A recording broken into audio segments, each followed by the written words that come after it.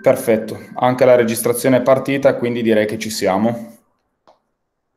Ce la siamo cavata in qualche maniera, via. Chiudo solo un po' di schermate per non far casino. Perfetto. Bene, allora partiamo di qua. Eh, nessun problema. Cerchiamo di riprendere, o meglio, ricominciare. Faccio solo entrare gli ultimi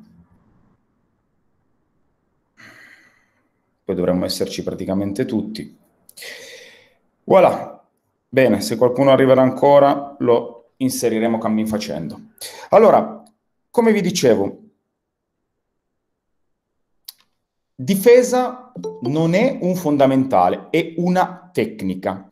Per poterla gestire abbiamo, vengono utilizzati alcuni fondamentali che possono essere più o meno codificati come andremo a vedere anche attraverso altri, um, altri video di supporto che vi mostrerò.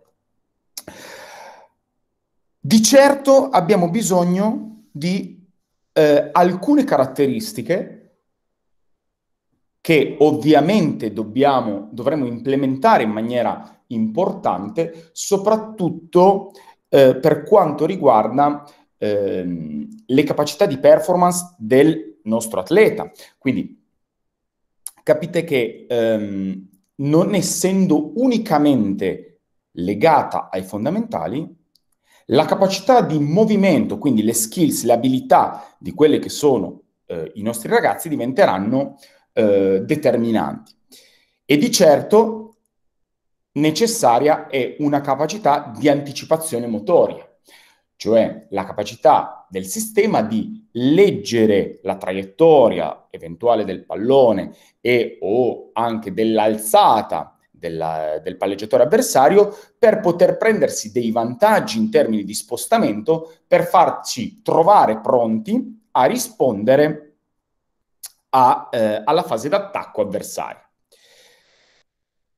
Necessiterà di sensibilità di rimbalzo. Perché? Perché ovviamente nel momento in cui pratichiamo il nostro sport, sappiamo fin da subito che il pallone non può essere trattenuto, quindi di certo, essendo il giocatore implicato non unicamente attraverso quelle che sono delle tecniche canoniche, ma dovrà essere capace di far rimbalzare il pallone, come vedremo, su buona parte del corpo, dovrà essere adeguatamente sensibilizzato a proporre un rimbalzo favorevole che possa permettere l'intervento di un compagno eh, della propria squadra per far proseguire l'azione. Non da sottovalutare la capacità di tipo condizionale. Uno, perché, come vedremo poi in particolare nella seconda parte della call, condiziona la capacità di spostamento rapido. Abbiamo una diretta correlazione tra quella che le capacità meccaniche condizionali e la forza e la rapidità eh, espressa all'interno del, della fase di spostamento. In più, vedremo quanto i giocatori tendono a flettere le ginocchia, a intervenire e lavorare ad angoli chiusi per quanto riguarda la flessione della gamba propriamente detta e della coscia, quindi la flessione del ginocchio, e eh, tanto più l'angolo di incidenza è serrato, tanto più la capacità di forza da esprimere per essere in grado di fare dei movimenti e uscire da quella posizione dovrà essere accentuata. In più abbiamo anche un discorso chiaramente di reattività che è un po' legata anche alla capacità ehm, cognitive e coordinative che ehm, abbiamo analizzato ed esplorato la passata settimana, quindi la capacità del sistema di avere delle risposte codificate, pronte e quindi avere un impulso elettrico abile, efficiente e sufficientemente rapido per fronteggiare degli stimoli che sono certamente eh, vicini ad alcune situazioni, ma pur sempre diversi l'uno dall'altro.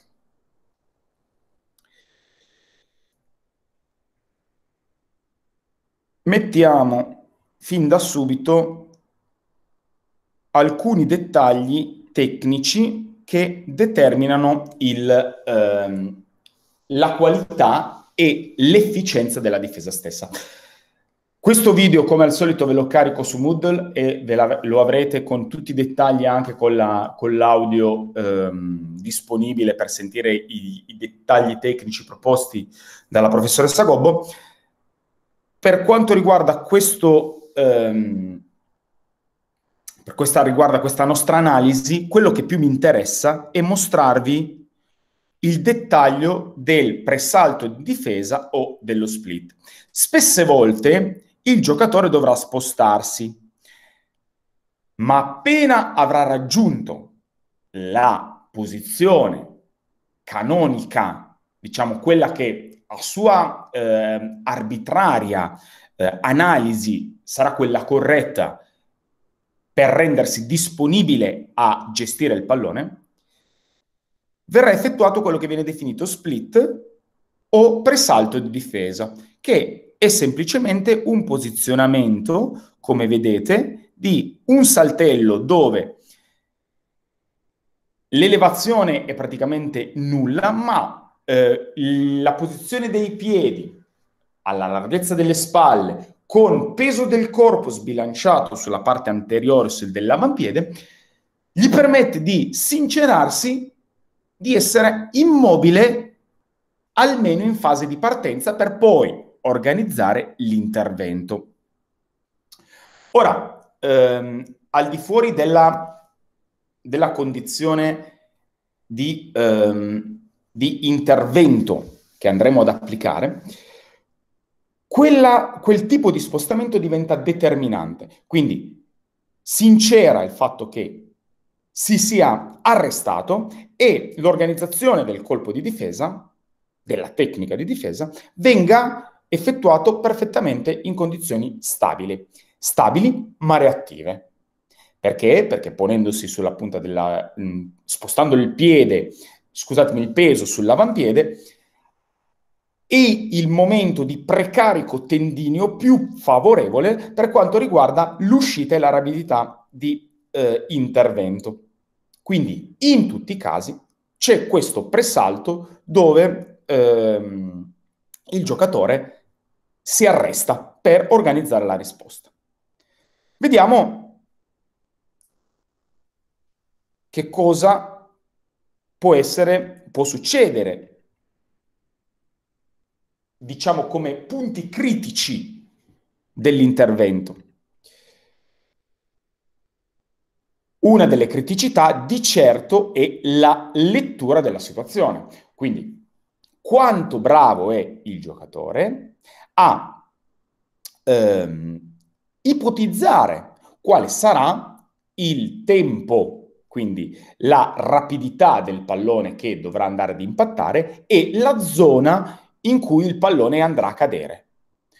Questa capacità assolutamente legata a doppio filo alla capacità coordinativa di anticipazione motoria, è una delle parti determinanti a quella che è la, eh, la risposta positiva o meno della, eh, della fase di difesa.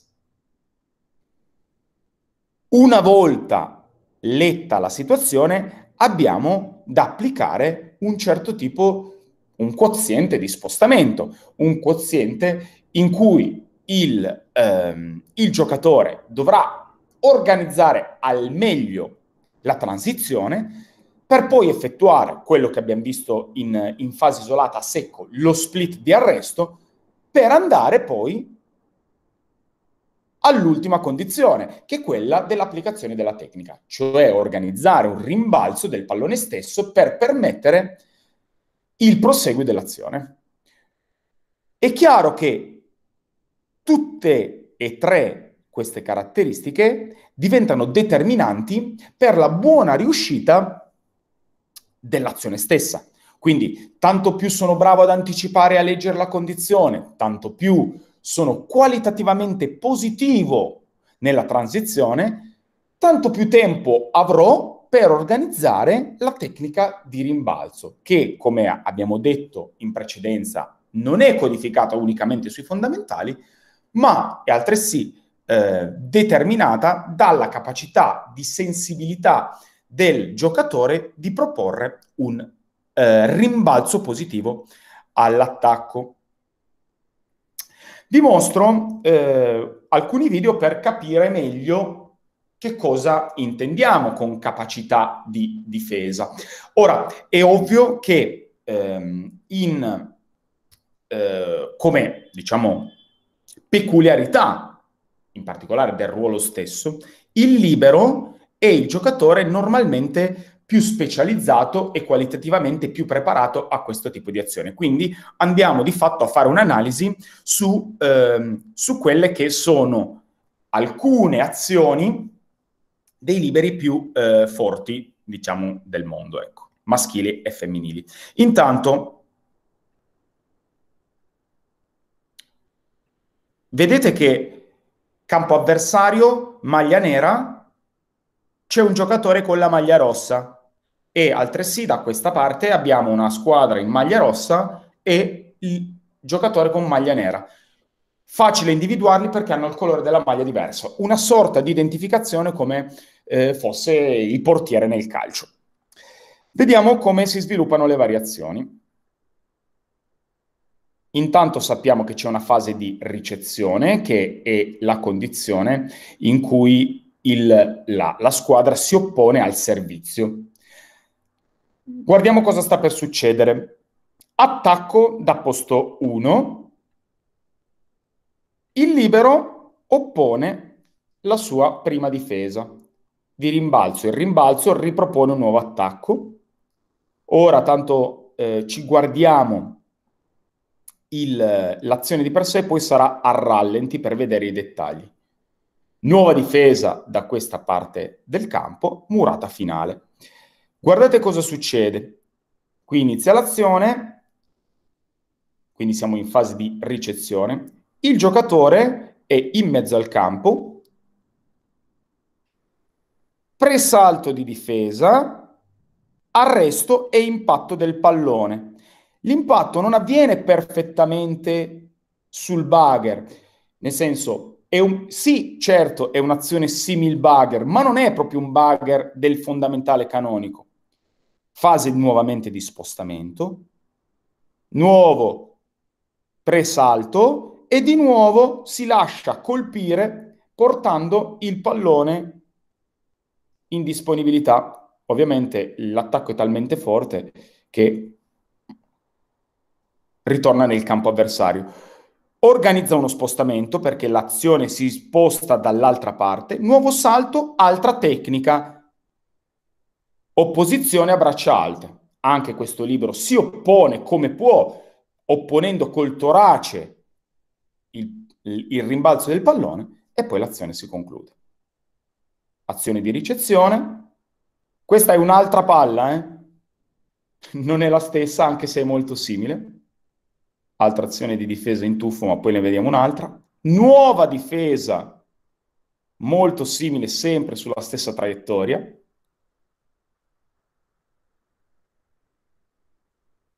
E poi, va bene, errore in attacco. Ma riguardiamo il rallenti, questa è la ricezione. Nuova azione. Vi ricordate anche qualche settimana fa quando vi dicevo che ogni azione, ogni giocatore ha le sue peculiarità. Qui abbiamo visto cinque attacchi, praticamente quasi tutti, quattro attacchi da parte dello stesso giocatore che vanno a finire praticamente nella stessa zona di intervento dell'attaccante. La cosa da notare appunto è la situazione che non è perfettamente organizzata sotto un punto di vista prettamente tecnico nel fondamentale del bugger, quindi non abbiamo l'estensione completa dei gomiti, la, l'anteposizione delle spalle, viene proposta una parte molto istintiva in cui il giocatore oppone le parti del corpo nella maniera più funzionale possibile a quelle che è, è l'azione a cui deve, si porta eh, a fronteggiare. Capite bene che siamo su frazioni di secondo, quindi la capacità di reattività, di qualità decisionale nella frazione di tempo diventa determinante soprattutto la qualità di gestire il rimbalzo anche con tecniche diverse, ne avete vista alcune tecniche di rimbalzo sull'avambraccio, alcune a, a, braccia, a braccia alte su palloni molto forti. Però diventa determinante appunto la, la capacità intrinseca, motoria del giocatore stesso, non tanto influente è la parte della, ehm, diciamo, puramente tecnica. In quest'altro video andiamo a guardarci una carrellata invece di difese acrobatiche,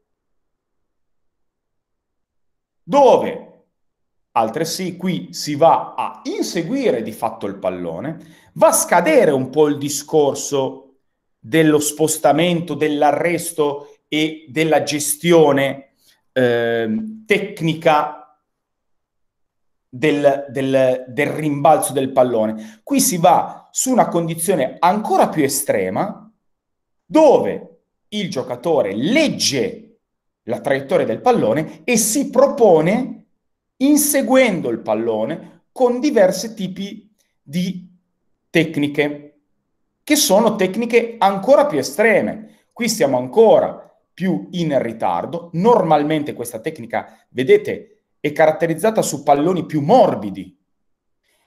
In particolare ad alto livello il pallone in attacco viene, ehm, viene schiacciato molto violentemente. Le variazioni determinano alcuni tipi di risposte che sono totalmente figlie del singolo giocatore, della soggettività del singolo giocatore che organizza una fase di tuffo per difendere e proporsi sul rimbalzo del pallone stesso.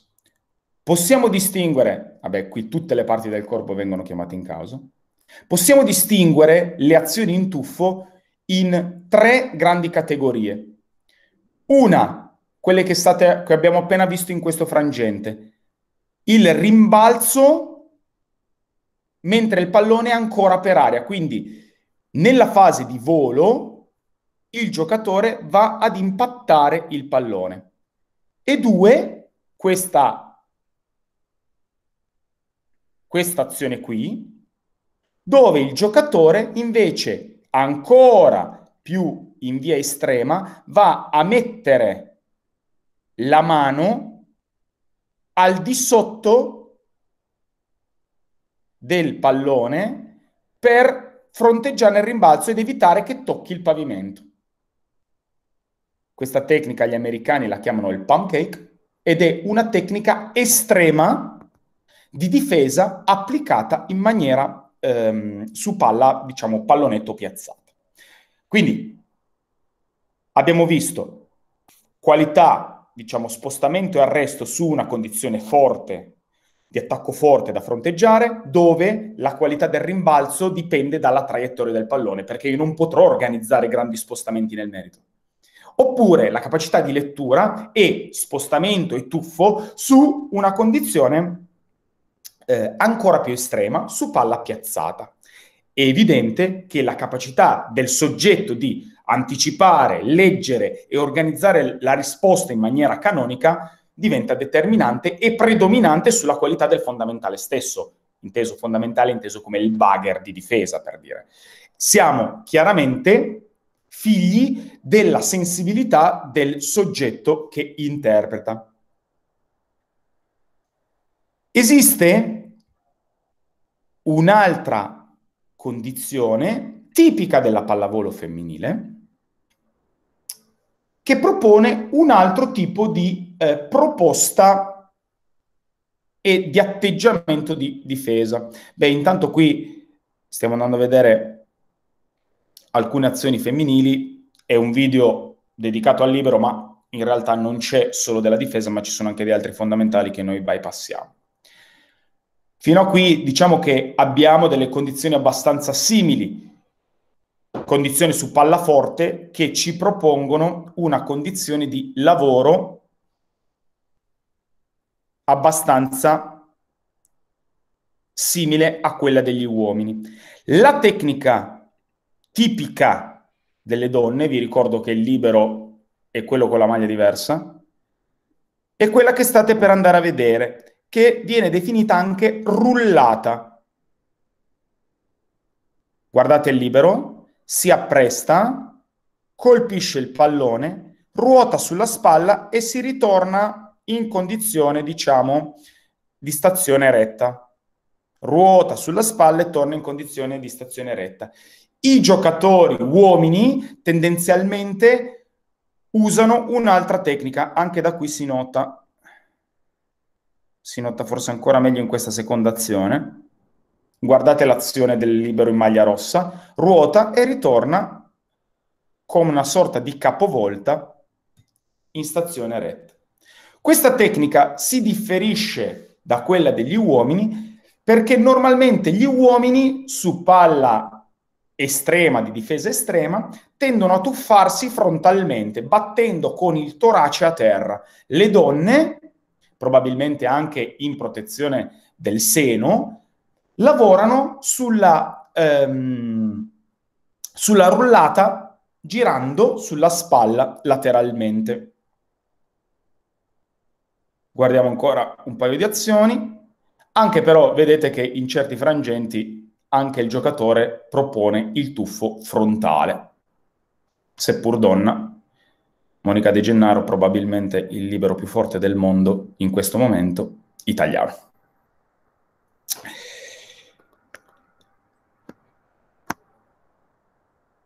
Vediamo un po' se c'è ancora una differenza. Palla forte, vedete sempre che le tecniche sono assolutamente eh, non codificate, sono figlie della condizione della, ehm, dell'azione stessa. Riguardiamo questa cosa qui però sul primo attacco. Guardate l'angolo del ginocchio, quanto va a flettersi sulla prima palla, palla forte. Ginocchio destro molto flesso. A quei gradi di flessione la forza è un fattore determinante per la qualità della uscita da quell'angolo. Ora, ehm, senza addentrarci oltre nella, nella questione, avete abbastanza capito quale sia l'universalità e la, mh, la condizione totalmente random della gestione di questo fondamentale. E ehm, tiriamoci qualche conclusione sopra possiamo tranquillamente dire che, a parte il fatto che ormai tutto lo sport di alto livello va incontro ad altissima specializzazione, e seppur il fondamentale di difesa debba essere conosciuto e interpretato da tutti i giocatori, di certo la specializzazione è elevatissima per quanto riguarda il libero.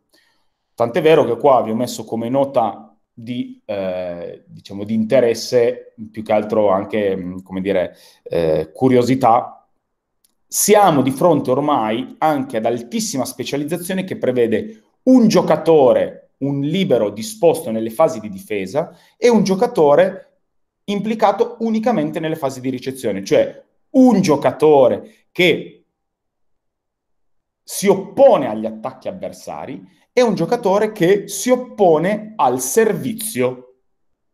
Quindi il giocatore in cambio palla è un libero, il giocatore in difesa è un altro libero. Come avere due portieri diversi. Come ci siamo detti, e come anche abbiamo visto dalle immagini, la componente fisica, sia condizionale che coordinativa, è dominante sulla capacità dei fondamentali. Quindi essere bravi, essere allenati come atleti alla condizione rende più probabile l'intervento positivo in questa eh, determinata tecnica. E se parliamo, come nel caso della pallavolo, sport specifico, di uno sport ad alto punteggio, diventerà ult- altresì eh, importante. Perché? Perché differenza tra ehm, sport ad alto punteggio o a basso punteggio, la condizione in cui io riesco a limitare la condizione più frequente è quella che mi avvicina di più alla vittoria. E questo avviene in qualsiasi tipo di sport, sia ad alto sia a basso punteggio. Nella pallavolo è favorito l'attacco rispetto alla difesa. Se io difendo un pallone in più, sono più incidente sulla possibilità di vincere la gara. Esempio al contrario, nel calcio, dove difesa ha predominanza di eh, importanza per quello, diciamo, di eh, incidenza alla vittoria, tra virgolette, della situazione contrastante, sono più determinante se segno un gol, perché se ne segnano pochi. Punteggio, sport a, a basso punteggio. In uno sport ad alto punteggio, essere forti e condizionati e abili a gestire questo tipo di condizione, di certo ha una fortissima incidenza per quello che è il, ehm, la possibilità, l'innalzamento della possibilità di portare a casa la vittoria. Molto semplici, i punti poi determinanti sono quelli della capacità condizionale dominante, capacità condizionale coordinativa dominante su quella della tecnica del fondamentale. La capacità di anticipare, la capacità di essere reattivi, di spostarsi rapidamente, di certo sono predominanti sulla buona riuscita finale. Questo è il punto che mi preme, eh, mi preme eh, sottolinearvi. Abbiamo visto anche quanto sia dipendente dalla capacità di rimbalzo dell'atleta stesso, quindi quanto l'atleta riesce sia a organizzare una risposta corretta in funzione allo stimolo, quindi leggere bene le condizioni e proporre in maniera del tutto arbitraria una, un'interpretazione personale di quello che è il salvataggio, sia su palla forte addosso essere in grado di opporre un, una superficie del corpo adeguata per far rimbalzare in maniera positiva il, il pallone. Per quanto riguarda la parte sul fondamentale, mi basta questo. Di certo evinciamo che la, eh, la capacità di essere condizionati positivamente sotto il profilo fisico sarà determinante per avere una buona probabilità di essere più forti in questo fondamentale che tra l'altro può essere determinante ai fini della performance. Ora ci spostiamo su quell'altro tema di giornata, che è sì collegato, anche se con peculiarità un po' diverse, che però è eh, quello della rapidità dello spostamento.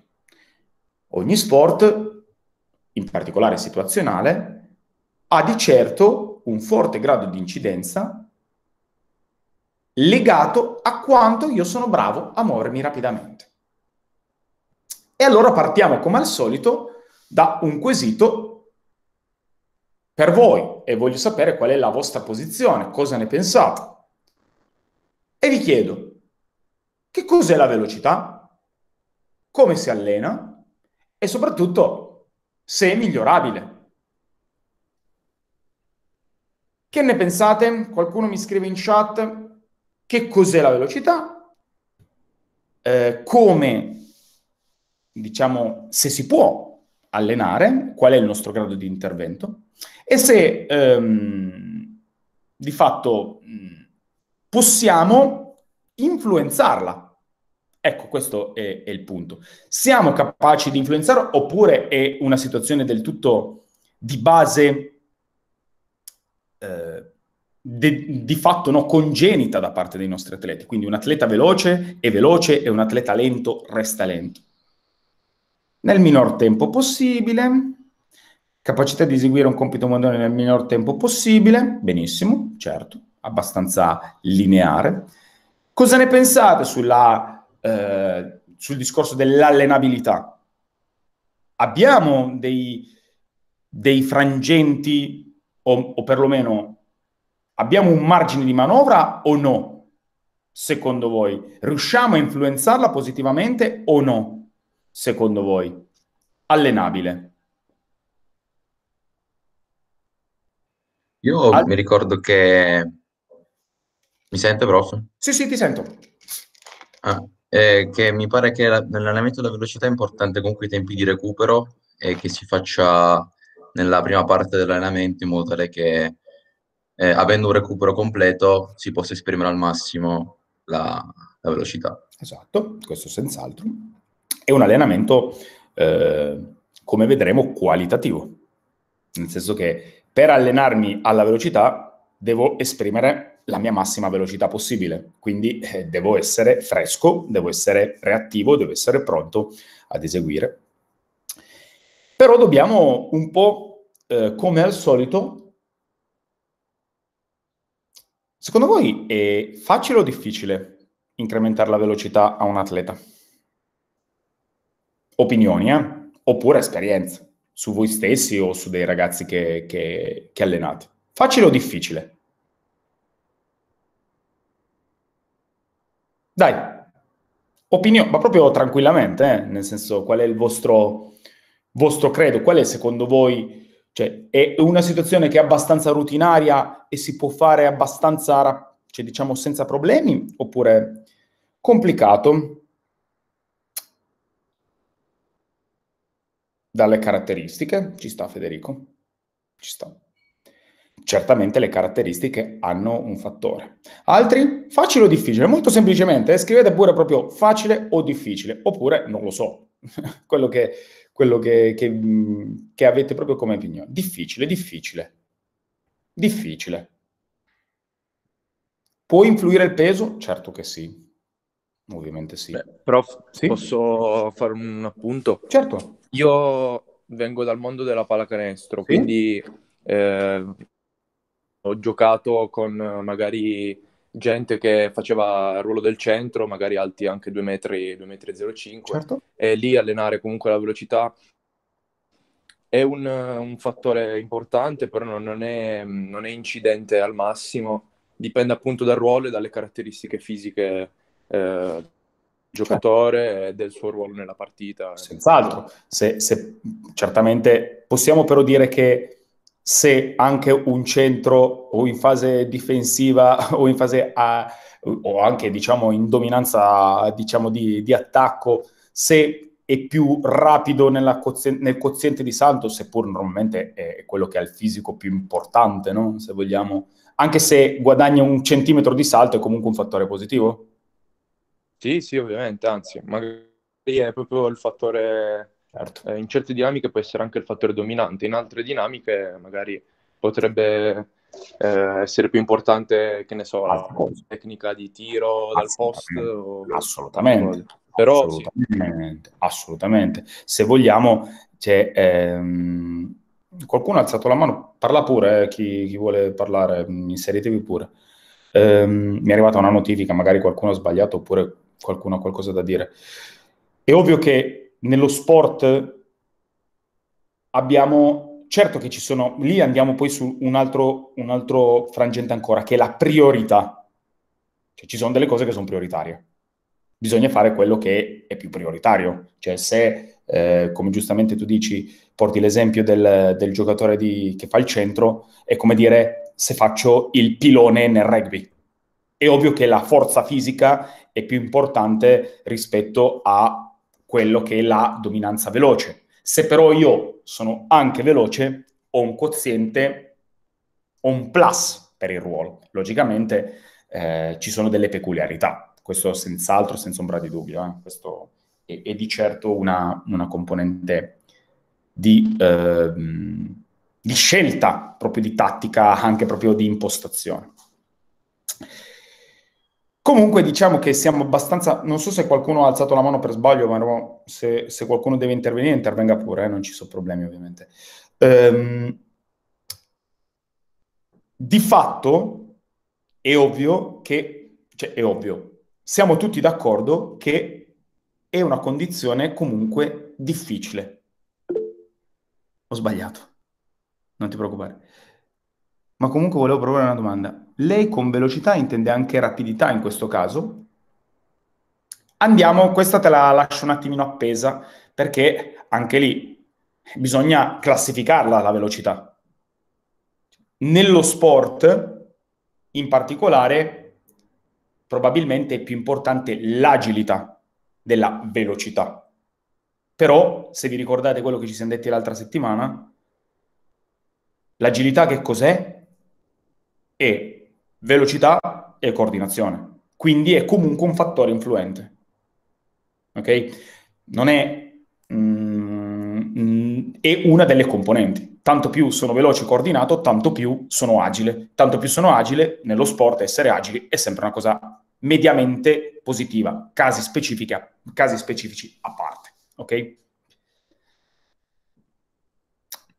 Comunque siamo su una linea, ripeto, di eh, condizioni difficili e più le condizioni di intervento sono complicate, tanto più noi dobbiamo essere strutturati e metodici nella, nel nostro intervento. Perché se devo fare eh, una, una, miglioria su una condizione più complicata, ho bisogno di essere più preciso, più puntuale, più dettagliato, più, ehm, diciamo, proprio selettivo a carico degli stimoli da applicare al corpo per far sì che questa cosa avvenga. Comunque, sì, abbiamo un quoziente di, eh, di intervento. Una definizione molto eh, diciamo, da campo, in generale anche proprio sulla, mm, quasi mm, la, la, la, la, ricondurrei a una quasi definizione in fisica, no? Cioè la velocità è definita come la variazione della posizione di un corpo in funzione del tempo. In più, se vogliamo, è una grandezza vettoriale. Comunque, in fondo è, è esattamente quello che ci siamo già detti ampiamente in chat. E a questo punto dobbiamo capire come classificarla per eh, essere poi in grado di andarla a eh, indirizzare, a far flettere gli stimoli in funzione di quella che è la nostra esigenza. Abbiamo alcune eh, capacità, cioè diciamo alcune classificazioni internazionali che possono essere proposte. Questa è una di quelle. E abbiamo una velocità reattiva cioè la capacità del sistema di fronteggiare uno stimolo, che può essere noto o non noto, però ehm, è la capacità di, a fronte di, questo, di, di uno stimolo che arriva, organizzare una risposta motoria. Facciamo un esempio. Stimolo noto, starter dell'atletica leggera. Io so già che allo sparo devo partire. Tanto più sono in tempo di latenza veloce ad, ad, accendere il primo passo, tanto più la mia velocità di reazione sarà qualitativamente buona. Eh, velocità reattiva a stimolo non noto può essere il difensore nella pallavolo. Sono reattivo a uno stimolo, so che arriverà un pallone nel mio campo, non so né come, né dove, né a quale intensità, né se arriverà nella mia disposizione se questo, uh, questa situazione avviene, io devo organizzare la, la risposta. Risposta a uno stimolo non noto. Abbiamo poi la velocità di frequenza. La velocità di frequenza è la capacità del, del singolo atleta di eh, fornire un aumento di frequenza di un dato schema di movimento. Eh, correre con una eh, frequenza di passo più elevata, pedalare ad una frequenza più alta, eh, il nuotatore che ehm, circonduce le, le spalle in maniera più rapida. Velocità di frequenza.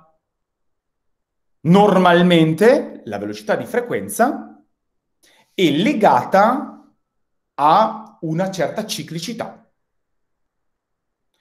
Quindi, sport ciclico, tanto più ho una frequenza di appoggio, ovviamente in relazione anche all'ampiezza degli appoggi stessi, tanto più ho una frequenza di appoggio elevata, tanto più probabilmente correrò in maniera rapida. Ovviamente siamo sempre su un rapporto di eh, ampiezza di passo. Ok, se la riportiamo sulla pedalata, se la portiamo sulla canoa, se lo portiamo dove vogliamo su uno sport ciclico, è probabile che alzando la velocità di frequenza io avrò un frangente positivo, tipico degli sport ciclici. Abbiamo poi una velocità attiva che si avvicina sempre di più a quella che è la proposta degli sport di squadra. Inteso come? Non è che eh, nello sport di squadra basta che corro veloce in linea. Devo essere bravo a frenare, cambiare direzione, eh, traiettorie curvilinee, cambi di verso, eh, cambi angolari, mh, mm, spostamenti laterali. La velocità attiva è questa condizione, la capacità del sistema di iniziare ad avere un certo tipo di combinazione motoria durante la transizione.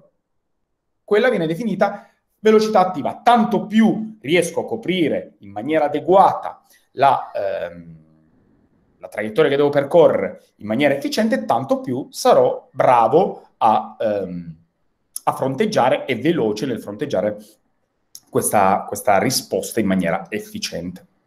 E poi abbiamo l'ultima, che è la velocità complessa, che non è nient'altro della somma di tutte le precedenti. E quella che noi possiamo anche definire con agilità. Perché?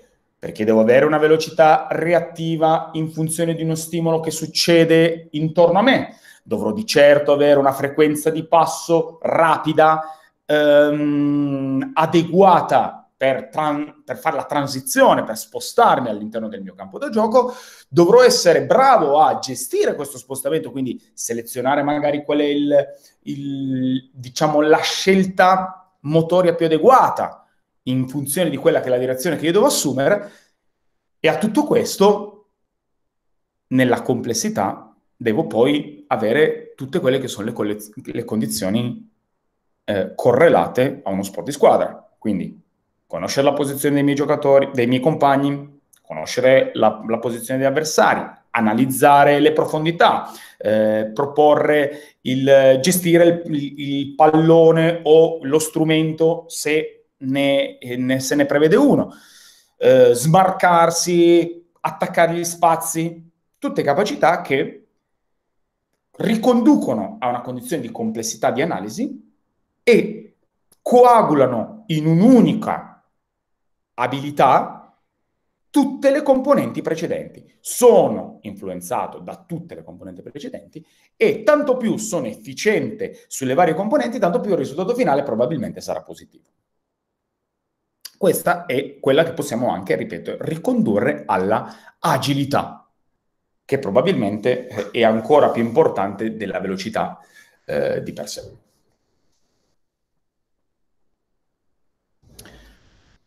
Bene, capito che cosa eh, può essere, diciamo, eh, caratterizzante una o più classificazioni diverse di questo termine, ovviamente in termini pratici sportivi, cerchiamo di capire quali sono i fattori influenti. I fattori influenti ve li ho elencati qui e sono eh, semplicemente, semplicemente tra virgolette, suddivisibili in tre grandi categorie. Abbiamo dei fattori neuronali, abbiamo dei fattori strutturali e abbiamo dei fattori metabolici.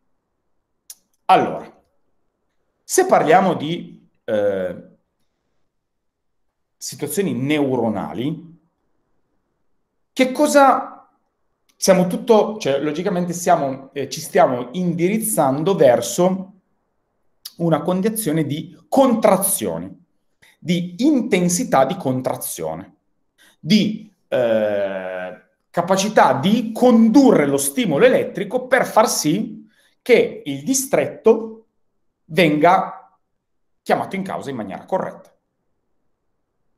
Quindi, fattore neuronale che cos'è? È la capacità del sistema di erogare in maniera veloce lo stimolo elettrico per far sì che la contrazione avvenga.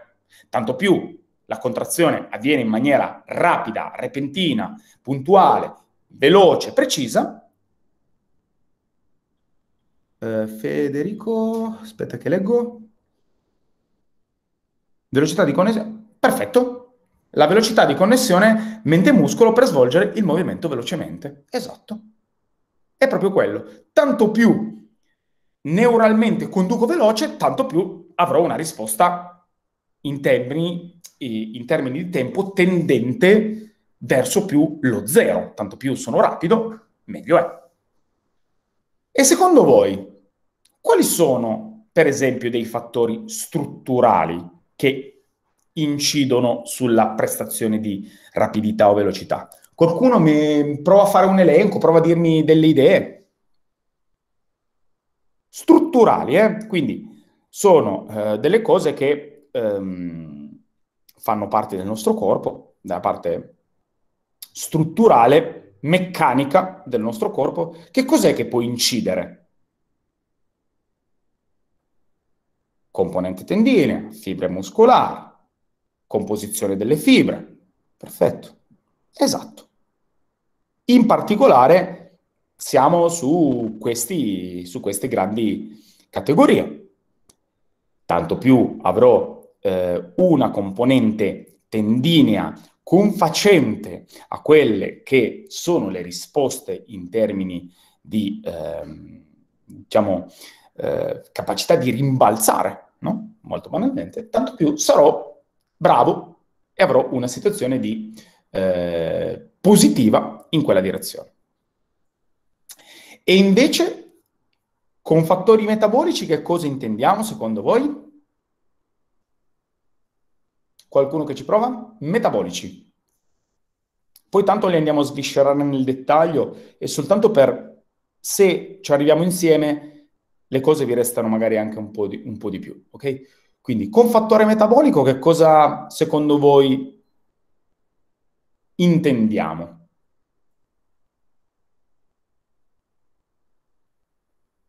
Abbiamo analizzato la componente neurale, cioè quindi quanto veloce conduciamo lo stimolo.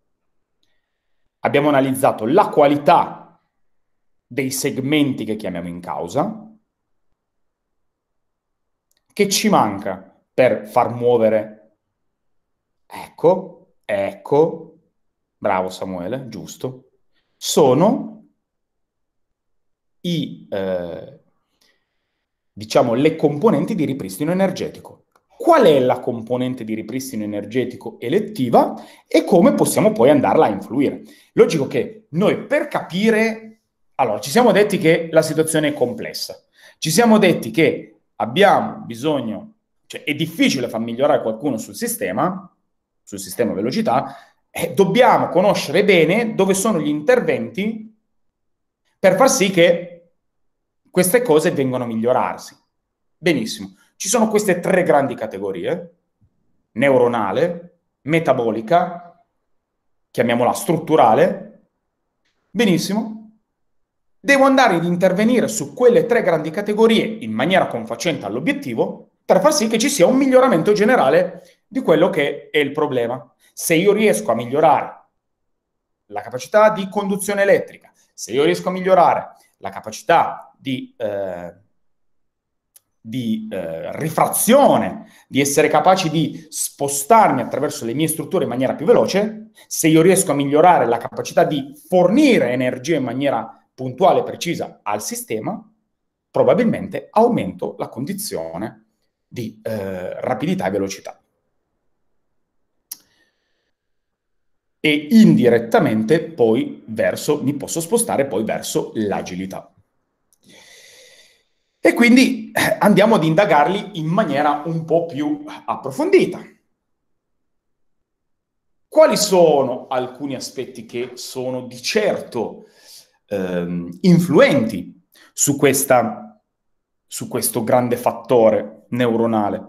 Beh, di certo la coordinazione intra e intermuscolare.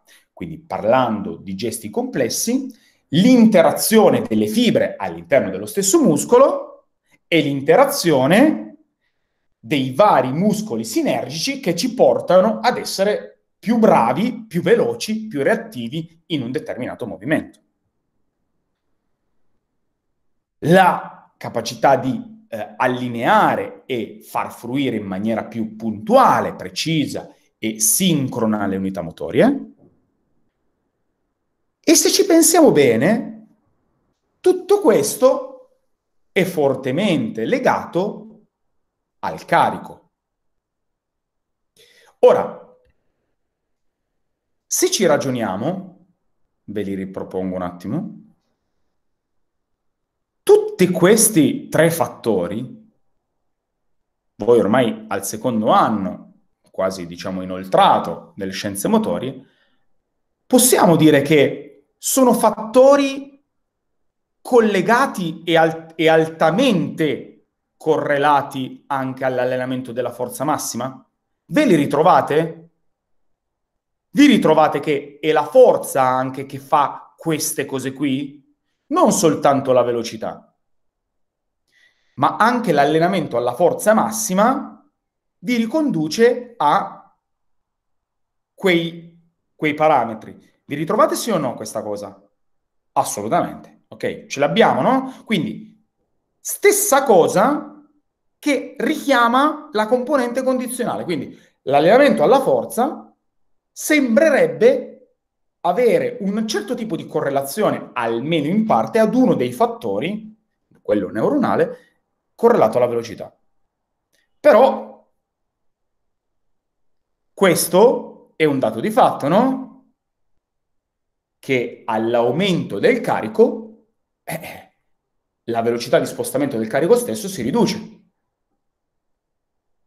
E questa cosa ci va in conflitto, perché noi ci siamo detti, ok, io mi devo muovere su schemi veloci, mi devo muovere su eh, condizioni più rapide, condizioni più importanti sotto il punto di vista della, della eh, tendenza a zero del tempo, eh, però se io aumento il carico, aumentando il carico, vado su dei, dei, delle situazioni positive, coordinazione intramuscolare, intermuscolare, bla bla bla. Però più aumento il carico, più riduco la velocità. E allora? E allora bisogna trovare e scomporre ulteriormente e andare a capire come andare a fruire quella capacità di stimolazione, quindi stimolo di alto impatto coordinazione neuronale importante, per fruirla però nella direzione che ci interessa a noi, che è quella della quickness, della velocità. Eh, qui interviene la situazione di potenza, che non è nient'altro che la relazione che intercorre tra forza, quindi uno dei fattori da allenare che interviene in una cosa importante come la potenza e di certo la base di forza, in relazione alla velocità. In realtà a questa V potrei anche, sarebbe anche meglio correggerla e metterla in funzione del tempo. Quindi la relazione dell'applicazione della forza che ho a disposizione in un'unità di tempo breve. Questo fa tutta la differenza del mondo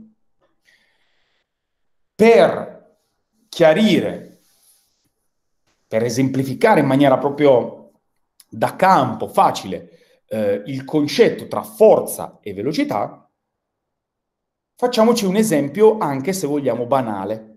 Magari tutti quanti voi avete chiaro che qual è la differenza tra forza e potenza, però ce lo facciamo anche per eh, fugare ogni piccola... Eh, ogni piccolo dettaglio riguardante questa tematica che è importante se vogliamo allenare la velocità di per sé.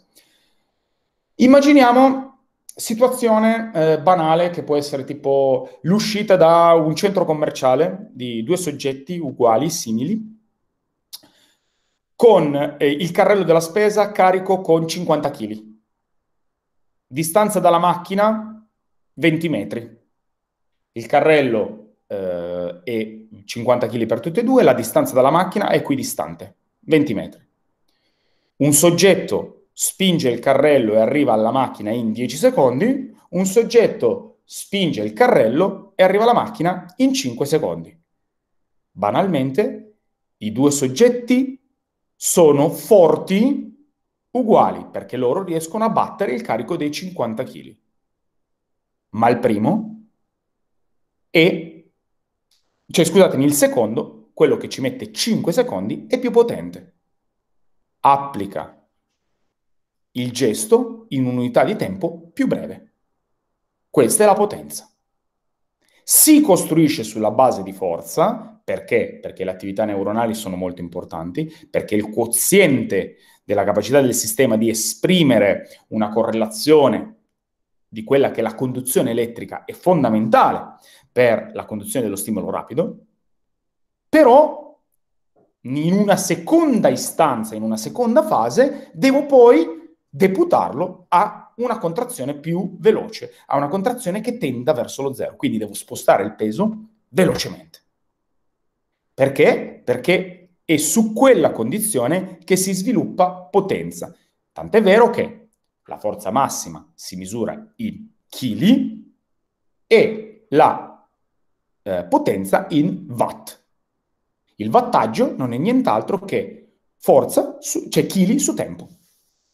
Questo è il punto focale. Di certo abbiamo bisogno di forza perché abbiamo bisogno di stimolazioni neurali, Altresì, di certo, non possiamo stare unicamente sul quoziente forza perché, perché se no, ad aumentare estremo della forza si riduce troppo la velocità e io finisco in un altro regime. Mi rallento invece di andare nella condizione in cui eh, sto cercando di indirizzare il mio allenamento.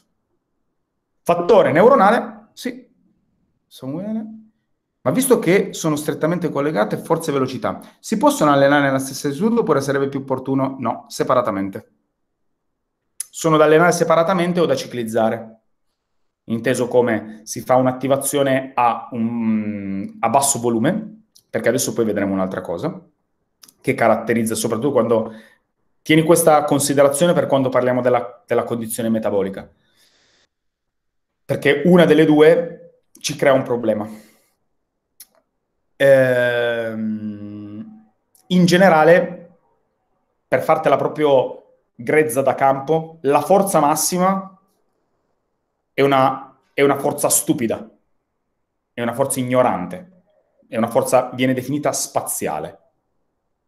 La velocità è una forza qualitativa, è una forza eh, di destrezza, quindi ha una componente assolutamente qualitativa. Ora, se proprio vogliamo, su una forzatura metodologica, si può fare, ma prima fai la velocità e poi fai la forza. Prendila così, Samuele, ok? Poi vedrai che parlando anche di, di, ehm, di metabolico la situazione diventa un po' più chiara. Parliamo delle strutture. Beh, qui avete già anche detto un po' tutto voi, nel senso che ci sono delle eh, componenti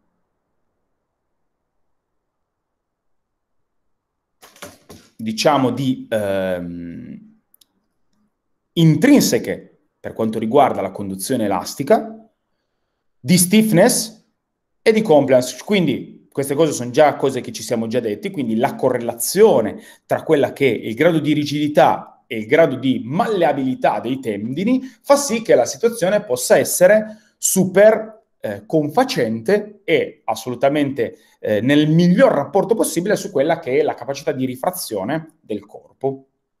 Di certo l'energia elastica è legata alla, alla condizione tendinea. Sappiamo che le fibre bianche hanno una capacità di contrazione e di reazione più veloce anche qui più confacente al grado della velocità. Non credo che ci siano tante altre cose da aggiungere, poi ne, parli- ne riprendiamo un po' più tra qualche minuto in avanti parlando su come interveniamo. vi mostro poi proprio anche una, una, un, un progetto d'allenamento già costruito. Andiamo a vedere quali sono il terzo fattore influente, i fattori di tipo metabolico. Il sistema di ripristino energetico che più dovremmo andare a stimolare. E perché? Perché il sistema, vabbè, logicamente se parliamo di potenza, rapidità, non c'è, credo, mh, grande eh, discussione o seppure è vero che tutti i sistemi energetici vengono chiamati in contemporanea a, a, ad applicare il loro, diciamo, eh, il loro aiuto per fronteggiare un movimento, di certo quello predominante su una situazione di eh, potenza è di certo l'anaerobico alattacido. Quindi, quello che ci siamo, che vi ho già scritto anche qui, siamo legati al ripristino della fosfocreatina. Quindi,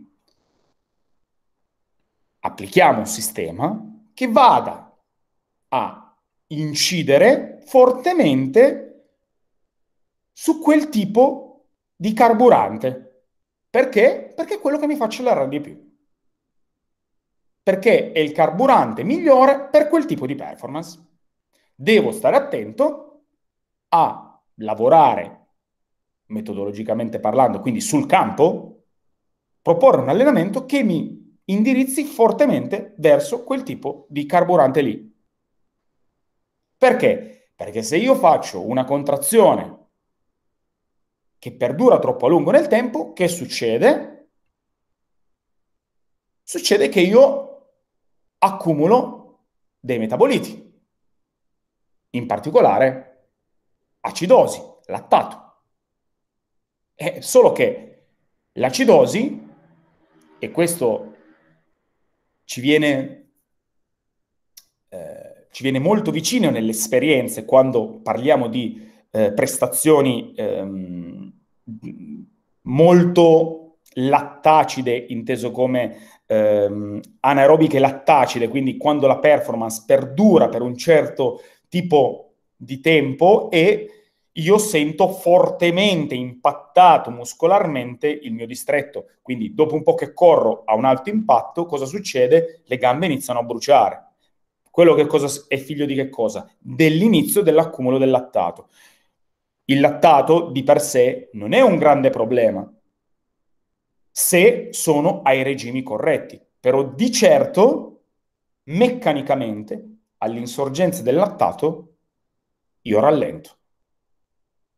E se io rallento, mi sto allontanando dal quoziente velocità. Io devo essere certo di non avere accumulo di acidosi, accumulo di lattato. Perché? Perché nel momento in cui sto andando in anaerobico lattacido, mi sto allontanando dal modello che è estremamente qualitativo. Ricordatevi sempre che velocità o potenza, chiamiamola come vi interessa, e acido lattico sono nemici dichiarati, sono fattori che si inficiano l'uno con l'altro. La, il perdurare della performance e l'accumulo di acidosi fa necessariamente rallentare. Nel momento in cui io sto rallentando, eh, io ho finito il mio allenamento alla velocità, sto già sconfinando in resistenza alla velocità, insomma, altre condizioni che non sono quelle della massimale di potenza di erogazione di wattaggio possibile. Questo è il dato di fatto. Quindi stare attenti a indirizzarci qui nelle scelte metodologiche, quindi essere molto precisi nei tempi a cui assoggettare l'esposizione del nostro atleta, perché oltre un certo limite di tempo eh, succede che l'acidosi inizia ad alzarsi e allora sto andando qui e non va più bene perché non sono più nella condizione di tipo massimale. Sempre riguardante la parte energetica e quindi eh, di fruizione energetica del, del sistema, abbiamo di certo da tenere in considerazione i tempi di recupero, e i tipi di recupero. Tempi di recupero e tipi di recupero per far sì che il nostro atleta sia pronto a riperformare allo stesso grado di intensità massimale il eh, estrinsecare tutto quello che è il suo potenziale. Quindi devo essere sicuro che abbia recuperato per far sì che ci sia una nuova performance massimale e devo far sì che la scelta del recupero, in particolare attivo o passivo, mi indirizzi in maniera discriminata verso quelle che sono le esaltazioni delle componenti metaboliche che vogliamo andare a, eh, a chiamare in causa in questo frangente. Quindi, molto eh, per tirare un attimo le somme sui tre fattori principali. Essere capaci di indirizzare verso un allenamento preliminare di forza e poi deviare verso la potenza per quanto riguarda la parte neuronale. Essere capaci di esaltare le risposte tendine, essere capaci di selezionare bene i tempi di esposizione e i tempi di recupero per far sì che il livello energetico sia quello più adeguato e sia soprattutto la componente più adeguata a far sì che ci sia una prestazione massimale. Quindi dobbiamo capire come facciamo ad allenare tutta sta roba. E abbiamo in parte già trattato alcune situazioni, in altre adesso ce le dichiariamo in via più che eh, legittima e eh, diciamo schematica per essere sicuri di fare una checklist di cose che ci sono da fare se vogliamo aumentare la velocità dei nostri atleti. Per implementare la forza, diciamo la capacità strutturale neuronale, abbiamo bisogno di un'implementazione della forza massima. Quindi abbiamo bisogno di stimolazioni che aiutino la coordinazione inter-intramuscolare, la capacità di fruizione di scarica, tutte quelle cose che ben sapete e probabilmente sapete già anche protocollare di per sé su quello che è l'allenamento della forza massima. Sulle componenti strutturali eh, dobbiamo lavorare, se parliamo co- del quoziente tendineo, sulla capacità pliometrica, inteso come la capacità di allenare e allineare al meglio il rapporto stiffness compliance, cioè far sì che i tendini siano sufficientemente rigidi per rimbalzare, ma non oltremodo rigidi perché se no si inficia la qualità del rimbalzo stesso. Però alla stessa maniera non eccessivamente morbidi perché se no non rimbalzano proprio. Allora, la pliometria è il sistema elettivo per quello che è la componente di, eh, di allenamento di questa eh, struttura. E poi rapportarci su un percentile della forza massima per andare a calcolarci quello che è l'ideale, il carico ideale per indirizzarci verso la potenza. Potenza che non è nient'altro che un quoziente di spostamento di carico su una velocità tempo tendente a zero. Questo cosa fa? Va a intervenire su quelle che sono le fibre bianche, quello che avete detto anche voi. E poi il, la parte metabolica essere certi di lavorare in anaerobico lattacido, scegliere tempi di lavoro e scegliere tempi di recupero che ci sincerino di stare in, quella, in quel distretto, in quella casella lì, quel, da quel benzinaio lì, non andare da altri.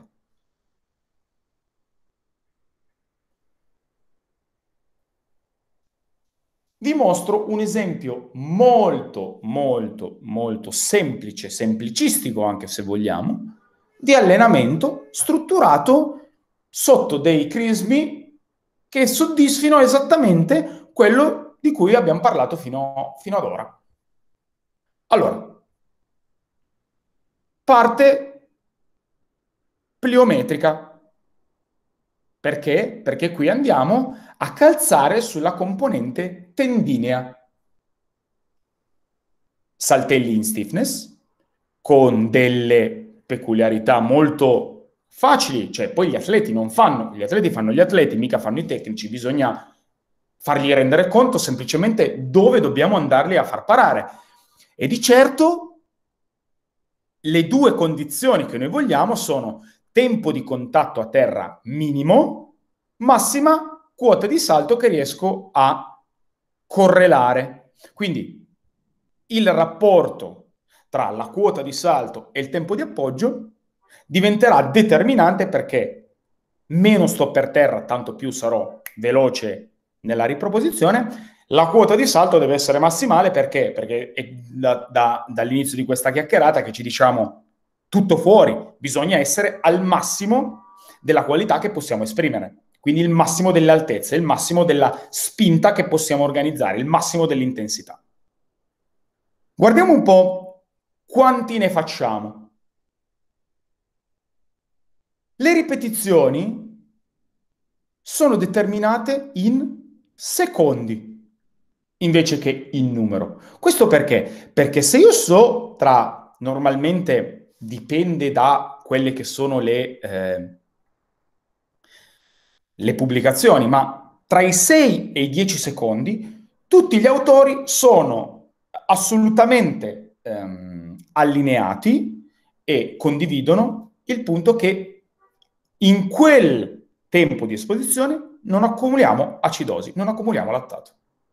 Io prendo il margine minimo per essere certo che tutti, chiunque si vada ad approcciare a quel tipo di, eh, di lavoro, abbia sicuramente il, l'intervento della fosfocreatina e non di altre, eh, di altre componenti metaboliche che non sono confacenti a quello che voglio come risultato. Quindi, massima contrazione in termini di rapidità e altezza all'interno dei 6 secondi, il recupero viene determinato in funzione a un rapporto qualitativo riconosciuto che sta tra 1 e 10. Cioè quindi se lavoro 1, recupero 10 in rapporto. Quindi lavorando 6 secondi, ne recupero 60.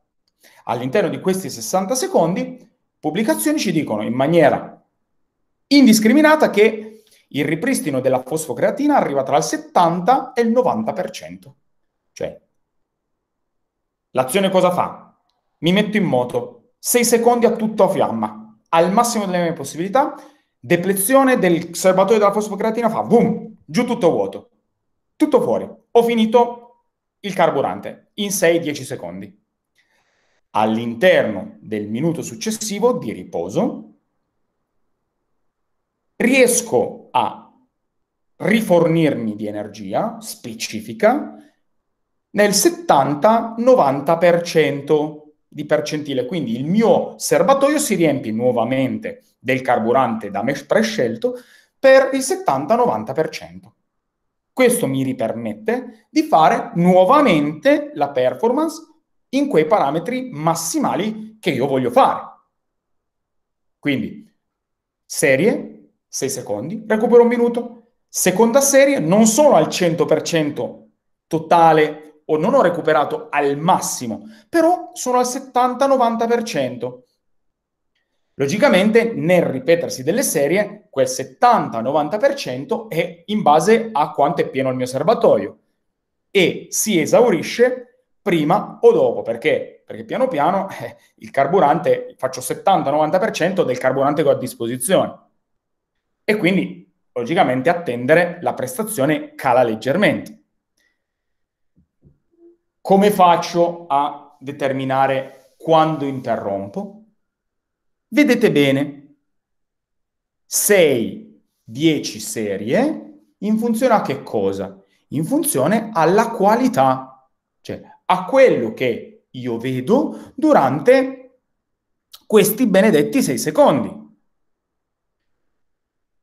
E in particolare, se o a occhio la quota di salto si riduce, o a occhio la quota di salto che si riduca bisogna avere un occhio abbastanza allenato per poterla, per poterla verificare. Ma di certo, se io conto i salti e i salti su 6 secondi iniziano a diventare sempre più numerosi, la quota di salto si sta abbassando. Allora a quel punto lì sto andando ad allenare un'altra cosa. Che si fa? Eh, si interrompe. Normalmente si cerca, normalmente diciamo che tutti gli atleti riescono a concludere sei serie, perché comunque sei secondi di lavoro sono veramente brevi se vogliamo, però anche facendo finta, se io per sbaglio avessi qualcuno che è decondizionato, non arrivi neanche a quelle sei serie, allora mi dovrò fermare prima. Come faccio? Guardando che cosa succede durante la prestazione. Se il numero di salti sale troppo, anche sulla qualità di salto, se significa che il sistema nervoso centrale sta faticando, e quindi a quel punto lì sto andando ad allenare un'altra roba.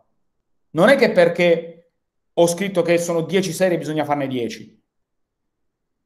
Stiamo su un allenamento qualitativo. Dobbiamo essere molto bravi a essere precisi. Nel momento in cui stiamo andando verso una deplezione, quindi stiamo andando verso una... Eh, ci stiamo inficiando le qualità massimali della prestazione, eh, dobbiamo smettere, dobbiamo recuperare e cambiare. Perché? Perché se no sconfiniamo nella resistenza alla velocità e altre situazioni che non sono in questo momento di interesse. Il recupero è assolutamente passivo. Perché? Perché il recupero attivo ha ragione d'essere unicamente se devo smaltire acidosi, se devo smaltire lattato. Ma io non ne avrei dovuto accumulare se ho fatto le cose per bene e quindi recupero passivo, fermo. Indagine sulla parte pliometrica, indagine sulla parte di potenza che ha gli stessi identici parametri e, pecu- e, parametri e peculiarità. Tempo di esposizione, questo in funzione a, a, a quanta, eh, alla qualità di questo benedetto sprint, quindi eh, di quanta eh, distanza percorro all'interno dei 6 secondi. Tanto più sono affaticato e questa distanza mi rendo conto che in 6 secondi è sempre più breve, vuol dire che la potenza sta calando. Che faccio? Fine. Perché? Perché se no accumulo lattato, se no vado ad allenare un'altra roba. Sconfinando dal punto di vista della velocità pura e andando molto più vicino a quella che è la richiesta eh, sport specifica, produco, ho inserito, questa, mh, mm, questa qui è un atleta di... Ehm, questa beach tennis, livello importante, abbiamo bisogno di certo di una quoziente di, essendo in una, un'abilità eh, sport eh, open skills, di una condizione di agilità. Voglio che ci sia anche una abilità nella gestione del corpo in via più complessiva. È ovvio che queste andature in scaletta saranno più lento di queste sprint in linea, perché il compito è più difficile. Però se io mantengo gli stessi parametri, sono certo di andare a, ad allenare nel miglior diciamo, rapporto possibile anche l'agilità. L'unico fattore che ho messo, diciamo, eh, coordinativo a ripetizioni è questo per due motivi. Uno, che normalmente in realtà l'ideale forse sarebbe stato tre per lato, però tre, sa- sei salti probabilmente in 6 secondi, 6-10 secondi li risolvo com- completamente. Di certo ho più o meno un numero di serie che probabilmente andrà piano piano a depletere perché, perché eh, mi porto dietro un po' di affaticamento. Questo è un esempio facile di protocollo stabilizzato con parametri precisi dove andiamo ad allenare esplicitamente la velocità. Niente di particolarmente difficile, tiene soltanto sotto controllo i parametri che stiamo indagando ormai da più di un'ora. un'ora e mezza. Ok? Questa cosa qui fa già differenza, farà già la differenza nel 90%, no, dai, speriamo di no, 70% dei casi che andate a, ad allenare, a mettervi a confronto con qualcun altro, perché in pochissimi controllano e, diciamo, monitorano in maniera rigorosa questi parametri. Eh, però se no cioè, teniamo sempre le situazioni in compartimenti stagni. Conosciamo la fisiologia, il componente anaerobica lattaceo, conosciamo l'anatomia e sappiamo che esistono le fibre bianche, le fibre rosse e quant'altro. Conosciamo la forza, la potenza, conosciamo tutto, però poi sul campo d'allenamento non lo monitoriamo. E allora andiamo a inficiare tutte quelle che sono le nostre possibilità di fare incrementare la velocità a stesso, perché perché siamo approssimativi nel combinare i parametri che in realtà noi conosciamo. Vi dico anche che ci sono situazioni anche più efficienti di questa in termini di, eh, di protocollo e quindi di metodologia, però questa è la più semplice e la più, diciamo, eh, immediata. Se la coordini in una fase preliminare separata, quindi in un altro giorno, in un altro periodo, eh, in un altro tipo di condizione, a un'attività di forza massima, tu hai coperto tutta la gamma. Stai facendo il tuo mestiere per aumentare la rapidità, la velocità dei tuoi ragazzi. Se, come mi chiedeva prima Samuele, la eh, la parte di forza non posso farla in un altro momento, di certo dovrò metterla dopo di tutto. Perché? Perché se, tra virgolette, forzo il sistema, imballo il sistema sotto il profilo neurale, poi le prestazioni non saranno più massimali e vado ad inficiare tutti quelli che sono i parametri. Ok? Ragionate un attimo su questa cosa qui e poi se avete delle domande sono a disposizione. Intanto io tiro le fila. Abbiamo capito che il sistema è assolutamente complesso. Abbiamo capito che la forza massima è uno dei fattori, anche se per certi versi e eh, controproducente su quello che è l'obiettivo finale. Di certo abbiamo bisogno di un incremento pliometrico per andare a lavorare sulle componenti strutturali. Siamo indirizzati verso il ripristino della fosfocreatina per le parti metaboliche. Il rapporto lavoro-recupero non lo decidiamo noi, lo decide la scienza. Volume serie, diciamo, tra le 6 e le 10 perché in teoria verso le 6 ci arrivano quasi tutti, ma se ci rendiamo conto che la qualità scade possiamo anche ehm, ridurre il, il, il volume stesso. Se facessimo meno di queste 6 serie, il volume complessivo di stimolo per ottenere l'aggiustamento e l'adattamento probabilmente non sarebbe sufficiente per far sì che ci sia una risposta in cronico da parte del corpo dei ragazzi.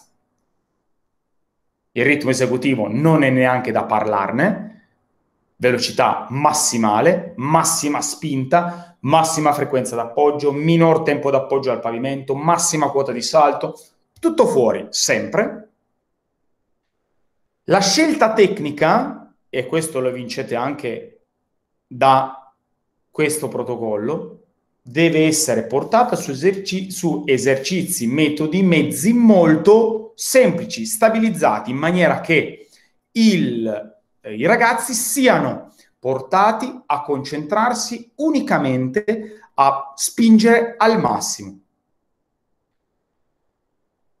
Tanto più mi sposto verso le componenti coordinativi, quindi verso l'agilità, tanto più la richiesta coordinativa si alza, è evidente come fare uno sprint in linea sia coordinativamente più semplice rispetto a una fase di eh, un'andatura in scaletta o cinesini o quello che vi viene in mente.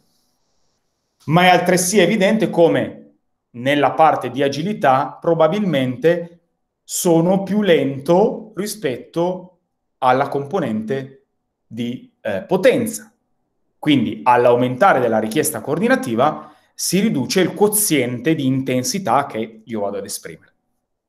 Quindi per allenare un soggetto a un'implementazione eh, di eh, rapidità deve farlo su una condizione conosciuta, stabilizzata, su un modello che conosce bene, registrato nella sua testa, che sa fare bene, un gesto che conosce molto bene. In questa condizione possiamo applicare e il soggetto può concentrarsi unicamente a fare tutto fuori, senza dover mediare pensando a quello che deve fare tecnicamente. Ok? Questo è il, diciamo, un lavoro metodologicamente stabile eh, based evidence, cioè eh, sostenuto da eh, componente di tipo scientifico, per quanto riguarda l'allenamento alla velocità. Logico che approfondirò e andrò a far calzare in maniera sempre più vicina, puntuale, precisa, in relazione a quella che è lo sport di mio interesse. Quindi spostandomi molto di più sulla parte dell'agilità se faccio un, uno sport open skills, se invece mi fermo su una, un quoziente, diciamo, più di performance, mi fermerò prima e lavorerò molto di più sulle componenti strutturali e sulle, e sulle componenti di potenza. Come vi dicevo, questa modalità, questo metodo è abbastanza eh, il più facile da applicare, ne esistono di più difficili e più efficienti che determinano però si costruiscono fondamentalmente sugli stessi parametri, non è che c'è molta differenza. Ci sono delle peculiarità differenti che possono essere eh, chiamate, chiamate, in causa. Noi abbiamo visto una, eh, una condizione de- dedicata al treno inferiore, ma si fanno lavori sulla stessa condizione, sullo stesso tipo di, di, eh, di principio anche sul treno superiore. Quindi la velocità di lancio, quindi la, um, i lanci anche magari torsivi sul, sul, treno del core, che ovviamente trasduce. Quindi ehm, se parliamo di lancio del treno superiore, sappiamo che la spinta normalmente arriva dalle anche, dalle, da, viene portata verso il treno superiore dalla, dal centro e si esprime soltanto in maniera distale col braccio. Se qualcuno di voi fa sport da combattimento, pugili, quant'altro, sappiamo bene che il, l'impatto deriva dalle anche, quindi essere capaci di allenare la potenza e la, la rapidità, la quickness anche a carico ehm, del, del tronco del core di certo è un fattore positivo. Uh, forse addirittura ho anche qui una, un modello al volo, sì l'avevo aperto. Alcune, questo è un, pro, ecco, un progetto sul core stability, sulla rapidità e sulla potenza eh, fatto appunto in direzione dei, di lavori torsivi che soddisfano i parametri che, ehm, che ho eh, determinato di cui abbiamo discusso fino adesso. Mm, il programma, vedete, complessivamente si focalizza anche su altre cose, perché la prima parte è sul sprint e spostamento e la, l'altra parte ancora è sulla potenza degli arti inferiori però eh, il, il principio è lo stesso, che soddisfa questi parametri sotto, sotto, tutti i punti di vista e, vabbè, ha delle altre peculiarità perché, ripeto, segue in particolare, quel, è un metodo un po' più avanzato e segue altre, altre logiche un po' più complesse. Domande, dubbi, perplessità? Mm. Avete un po' le idee un po' più chiare su come affrontare magari qualcosa inerente a questo tema? Spero di sì. Qualcuno di voi mi ha fatto anche delle domande e logicamente, esatto, bisogna poi anche un po' eh, rinforzare studiandosele, no? digerendo un po' il tema, perché purtroppo è, ripeto, una cosa complessa ed è difficile. Mm? Quindi essere bravi a interpretare e analizzare e a studiare, stabilizzare bene quello che è un metodo, di certo ci può dare delle, delle, delle peculiarità e un aiuto sotto il punto di vista dei risultati. Poi ovvio che si potrebbe andare ad analizzare ancora più nel dettaglio, ma non è questa la sede prendiamola come infarinatura generale, sappiamo che si può fare ancora meglio, però almeno ci indirizziamo sulla strada corretta. Da che età si inizia ad allenare la velocità? La velocità in termini, ovviamente parametrando in particolare sulla eh, condizione di eh, forza che devi essere molto accurata nella scelta della, della, della, capacità di espressione di forza. Quindi, sai, in certi casi, soprattutto se parliamo di ragazzi molto giovani, anche l'allenamento a corpo libero, corpo libero ad angolo chiuso può essere già uno stimolo di forza adeguato, però la velocità si può allenare praticamente da subito, fai attenzione nelle fasi di sviluppo quando vai a lavorare sulle quozienti tendine, perché lì lo sappiamo che bisogna avere un po' di eh, qualità, perché se tu esageri sul volume tendineo in alcuni, in alcuni frangenti, diciamo che nella parte eh, prepuberale cioè siamo, sei un po' al limite perché i siti delle ossa non sono ancora fissati per bene e puoi rischiare di creare infiammazione tendinea. Ma lavorando bene sotto il profilo dei volumi e sotto il profilo del, del quantitativo di stimolazione, puoi fare già dei lavori, ok? Quindi tieni conto della, del quoziente di tipo strutturale. Mm? Questo è, è, importante. Poi diciamo che dall'età onestamente puberale, 16, 17, 18, anche se in realtà non sei fuori dal sovraccarico funzionale tendineo, ehm, si inizia a lavorare in maniera ancora più massiva.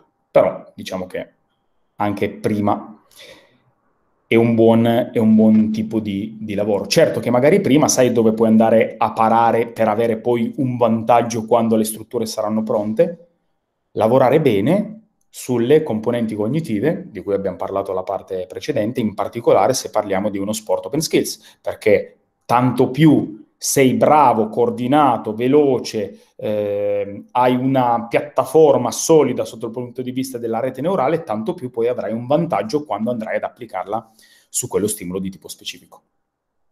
Questo potrebbe anche essere una tattica interessante. Ovviamente generalizzando senza, poi parlare, senza poi parlare di età biologica o età anagrafica. Va bene. Perfetto, grazie a te. Se ci sono poi delle domande che vi insorgeranno, qualcuno mi ha anche scritto e non c'è problema, cerchiamo di, di, Abbiate solo un po' di pazienza perché arrivano un po' di domande ogni tanto e ci vuole un po' di tempo anche per me per smartire, però eh, cerco di rispondere a tutti. Ragazzi, ehm, vi ricordo, prossima settimana, importante, la call per i dettagli su quella che è la prova in itinere, perché è di vostro interesse, ve lo dico per voi. Eh, cercate di essere presenti perché vorrei dirla una volta per tutti quali sono i, pre- i parametri e chiarirli per tutti quanti, rispondere alle domande, perché poi sarà una prova eh, riproverei su Webex io la prossima settimana, anche perché tra l'altro non credo di avere niente da condividere. Poi tra l'altro solo oggi ci ha lasciato. Nel caso in cui ci, fosse, ci fossero dei problemi che mi che attanagliano, andate a guardare su Moodle, fatevi un giretto su Moodle giusto per, per essere sicuri, sincerarvi, ma rimarrei sulla, sulla parte canonica, ok? Bene, se non c'è altro, se non ci sono altre questioni, se non ci sono altre domande, io vi saluterei, vi congederei e ci vediamo la prossima settimana. Grazie, buona giornata a tutti, a presto. Arrivederci, buona giornata. Buona giornata.